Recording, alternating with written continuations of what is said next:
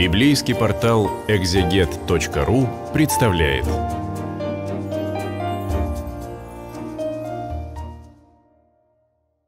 На библейском портале «Экзегет» мы продолжаем чтение книги «Премудрости Соломона», 12 глава. «Нетленный твой дух пребывает во всем». Богу присуще свойство духовность, и э, кроме этого сам Господь говорит, Бог есть дух, потому и духом истины, и истинную надлежит э, человеком кланяться Богу. Духа Святого мы узнаем и как личность, одно из трех лиц Пресвятой Троицы, которая принимает участие в созидании мира и в довершении всего того, что делается для спасения душ человеческих в вечности Отцом и Сыном. Нетленный Твой Дух пребывает во всем, э, во всем и везде, но ни с чем не смешиваясь. Он есть та божественная личность, которая, присутствуя в жизни э, человечества, бесконечно удалена от него не местом, но природой. Однако во всем пребывает не эманацией, как в индуистских э, представлениях о божестве и о мире, как о его излиянии, а пребывает, э, просвещая и наставляя к праведному состоянию всякого человека, приходящего в мир. Посему заблуждающихся ты мало-помалу обличаешь и, напоминая им, в чем они согрешают, вразумляешь, чтобы они, отступив от зла, уверовали в Тебя, Господи. Это не холодная проповедь, э, не холодное назидание, произносит премудрые, но сам, обращаясь к источнику всех благ, Господу, говорит о его милости к падшим и изумляется его милосердию, которое приводит грешника к покаянию мало-помалу, сообразовывая с его ожесточением и меру вразумления от него исходящее. Так, возгнушавшись древними обитателями святой земли твоей, ей надлежало э, впоследствии осветиться э, боговоплощением, хождением по ней самого Спасителя мира совершавшими ненавистные дела волхвований и нечестивые жертвоприношения, и безжалостными убийцами детей, и на жертвенных пирах пожиравшими внутренности человеческой плоти и крови в тайных собраниях, речь идет о хананеях и о некоторых других племенах, столь нечестиво и богопротивно живших э, в, на этих землях прежде пришествия туда Израиля и родителями. Упоминает Господь и о неких тайных собраниях, которые еще тогда имели место, и насколько перевелись вовсе на земле, Богу известно. И родителями, убивавшими беспомощные души, гнушаясь всем этим, ты восхотел погубить их руками отцов наших. Дабы земля драгоценнейшая всех у тебя — приняла достойное население чад Божьих. Но и их, как людей, ты щадил, послав предтечами воинства твоего, шершней, дабы они мало-помалу истребляли их.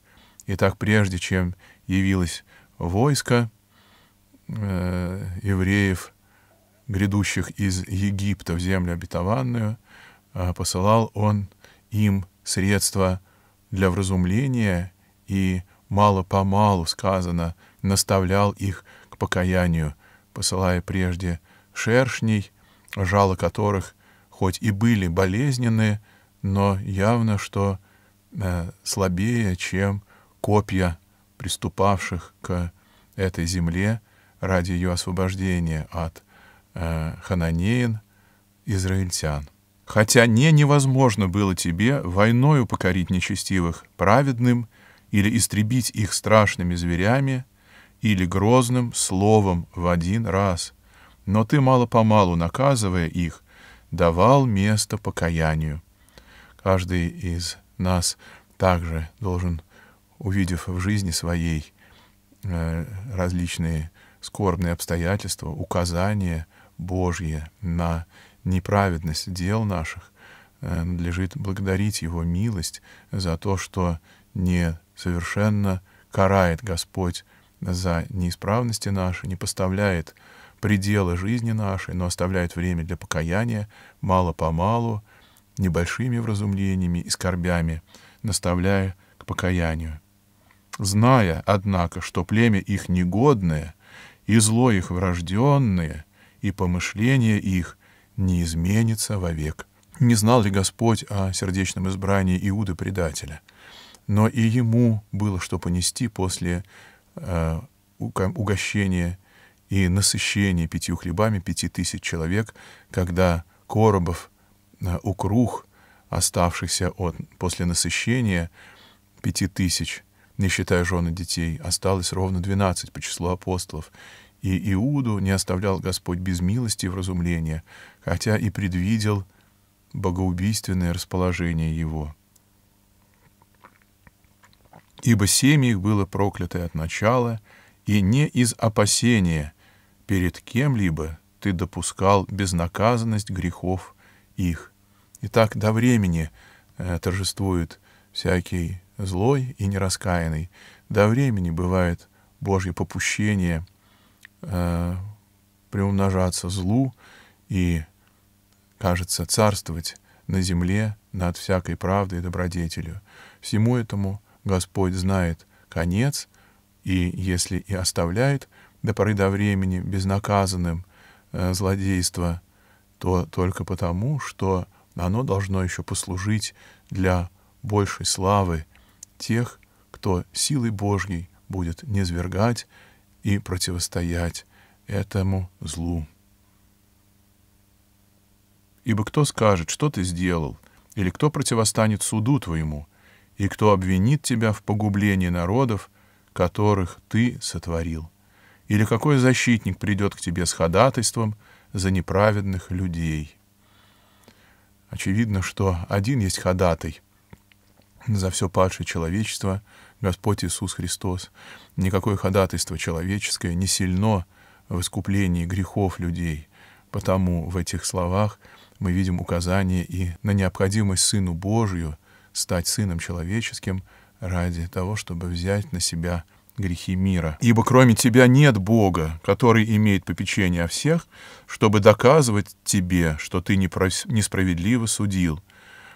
Понятие «Бог», э, «единый Бог» э, предполагает отсутствие какого-либо второго Бога или третьего, который находился бы в каком-то противоречии с Богом первым.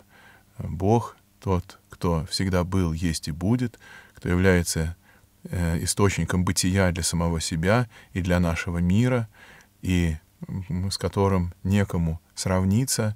И хотя в Троице Пресвятой мы различаем три лица, но представляют они из себя при всем своем личном божественном достоинстве одного и единого, триединого истинного Бога. Ни царь, ни властелин не в состоянии явиться к тебе на глаза — за тех, которых ты погубил, будучи праведен, ты всем управляешь праведно, почитая несвойственным твоей силе осудить того, кто не заслуживает наказания. Дело Божие, говорит Феофан Затворник, лишь бы миловать и миловать, лишь бы человек дал какую э, для этого э, зацепку, какой повод для того, чтобы Бог простил, помиловал. Потому все то, что называем мы судом Божьим и карой э, в отношении относительно отдельных лиц или целых народов, является божественное свидетельство и действование, которое отражает нераскаянное утверждение окаменения, состо... отражает нераскаянное окаменение тех, кто, отвергнувшись Бога, уже никогда не захотят к Нему обратиться. Ибо сила твоя есть начало правды, и то самое, что ты господствуешь над всеми, располагает тебя щадить всех.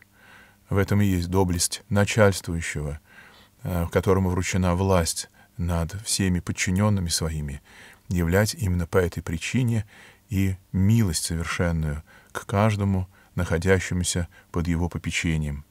Силу Твою Ты показываешь неверующим всемогуществу Твоему, и в непризнающих Тебя обличаешь дерзость. Повторимся, что э, называемый, так называемый Божий гнев есть лишь явление силы Божьей в тех, кто прежде добровольно, а точнее сказать зловольно, отреклись от Бога всяческих и злоупотребили своей свободой а, вопреки призыву Господню. Обладая силой, ты судишь снисходительно и управляешь нами с великой милостью, ибо могущество Твое всегда в Твоей воле. Но такими делами Ты поучал народ Твой, что праведному должно быть человеколюбивым, и внушался нам Твоим благую надежду, что Ты даешь время покаянию во грехах. Итак, все дела Господня благи, потому и лучше для человека довериться воле Его. Утверди волю свою в следовании воли Божьей, и всегда будешь пользоваться благами Господними, ибо из дел Его нет никаких происходивших бы из какого недоброго источника. Все, что совершает Господь, благо, но только для того, кто умеет это благо с благодарностью принимать и употреблять и скорби, и радости на пользу спасения души своей. Ибо если врагов, сынам твоим и повинных смерти ты наказывал с таким снисхождением и пощадою, давая им время и побуждение освободиться от зла, то с каким вниманием ты судил сынов твоих, которых отцам ты дал клятвы и заветы благих обетований. Господь нас с вами причисляет к стаду своему, э, ублажая апостолов, э, а точнее тех, кто уверует по слову их, блаженны, не видевшие, но уверовавшие в ваше благовестие о воскресении Христовом, ибо это обетование, данное Отцам нашим по вере Христовой, несомненно, сопровождает и нас, потому не должно сомневаться, что те вразумления, которые нам попускает Господь, есть свидетельство Его любви, ожидающий э, для нас, э, есть свидетельство Его любви, жаждущий преподать нам совершенное благо вечной жизни.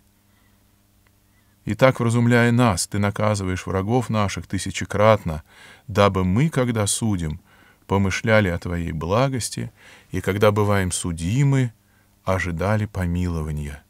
Итак, призывает Господь судить других милостивно, а лучше сказать вовсе не судить, а в отношении скорбей своих никогда не оставлять надежды на милость Божью, которая и скорбь нашу срастворяет упованием на Его милость.